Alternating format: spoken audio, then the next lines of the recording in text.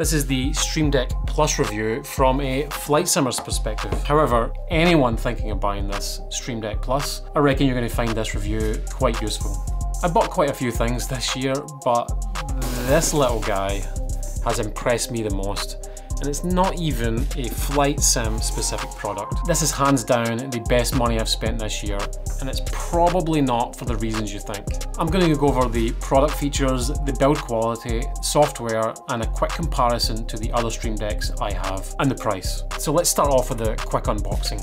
Now, I have already opened this, but I'm just going to pretend it's the first time so you can see what to expect when you open the box.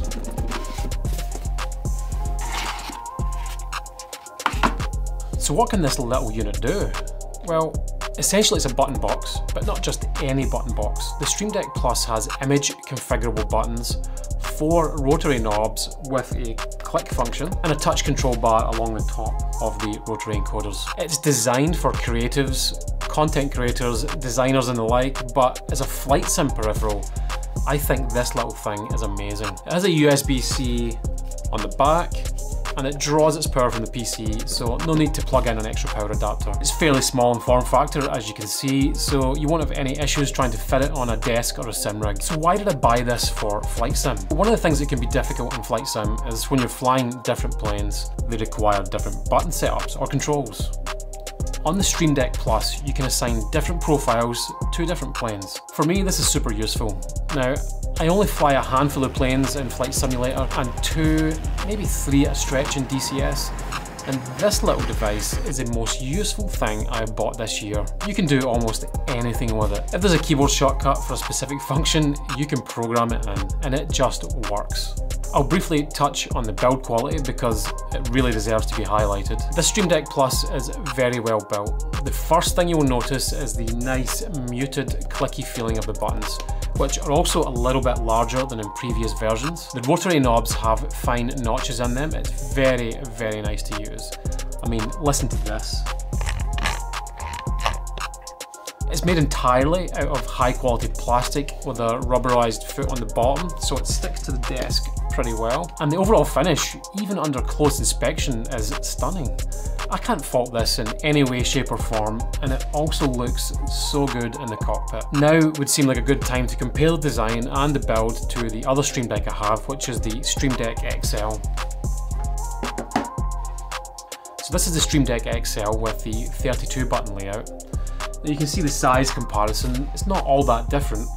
The Stream Deck Plus obviously sits a little bit higher, but the Stream Deck XL is that little bit wider. Now you will notice here, hopefully on camera, the difference in the size of the buttons. And I think there's a difference in the feel of the button as well. The Stream Deck Plus seems to be a little bit clickier. The button, the button seems to want to return quicker, which I quite like. And the obvious difference would be the four rotary encoders along the bottom, plus this little panel here which you can configure. Now looking at them on the side, side profile wise, you know, they're pretty comparable in size. They both have that kind of rubber on the bottom on the foot. So they both sit the desk really well. Not 100% sure, but I feel like the quality of the plastic may actually be better on the Stream Deck Plus. It could be because this Stream Deck, well, you know, it's a year or two old now, but really, when you look at them closely, I think this is a little bit better. It's nice to see Elgato still making improvements to things that really weren't an issue in the first place when it comes to build quality. Now, let's move on to the software. The software is quite intuitive to use.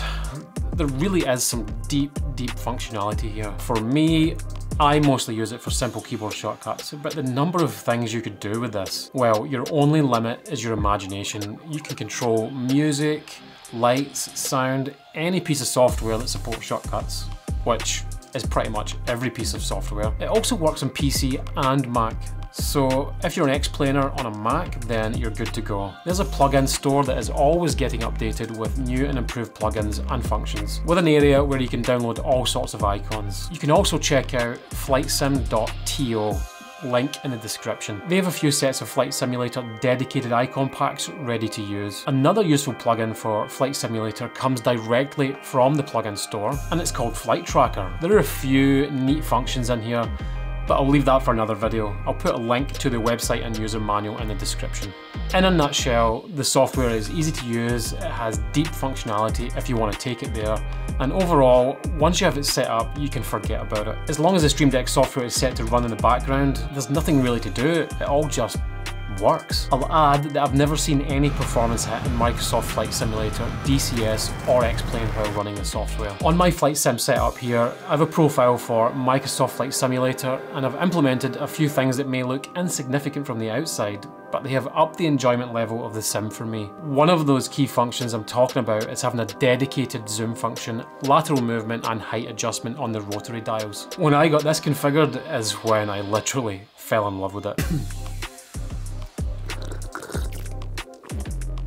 I also have created some basic shortcut functions like landing view, which allows me to raise up and move forward to gain a better sense of what's happening on approach. One of the other things I love about it is the app launch. Now, for example, I don't always use a butt kicker in the sim, so I don't have it automatically set to run. Because of this, sometimes I forget to turn the software on with the Stream Deck Plus, there's no issue here. It's just one click on a button and up it pops, it's, it's, running. I'm also always tinkering with sliders and butt kicker software. Now I have the Stream Deck set to just open up over the top of the sim with a single click. It's just so, so handy. I could go on for hours about how I'm using it or the ideas I have for it, but you get the basics. The software and the hardware together are just so useful, I will never go back. Why did I upgrade my sim to the Plus when I already have two other Stream Decks? Well, it's the rotary encoders. And man, are these things great? I know there are only four of them, but I actually think it's just the right amount. And that little screen bar that sits above them can display extra information, plus you can use them to swipe between profiles. The functionality goes way deeper than I can ever dare to go. You really can't fall down the functionality rabbit hole with this. Now, this little thing costs 199 USD. I'm known for moaning about the price of just about everything. And honestly, I did find it hard to part with my cash for this. However, I was blown away with the extra functionality of the rotary encoders and the larger buttons. As soon as I started getting these shortcuts mapped, I knew it was money well spent.